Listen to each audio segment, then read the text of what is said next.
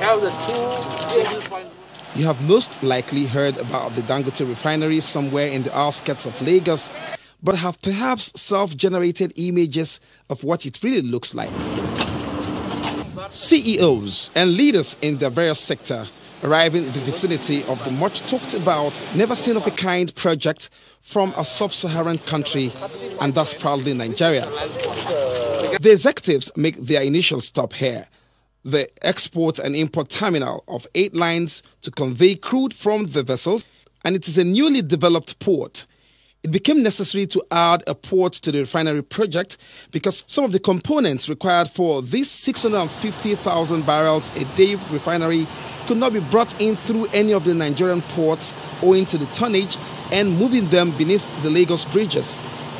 The port here can berth vessels for import and export and already in use, certified and approved. Put together, this has become a part of the Dangote refinery slash petrochemical complex and fertilizer plant. The world's largest single train refinery, a 650,000 barrels per day production capacity, and the petrochemical plant, which will produce polyethylene and polypropylene.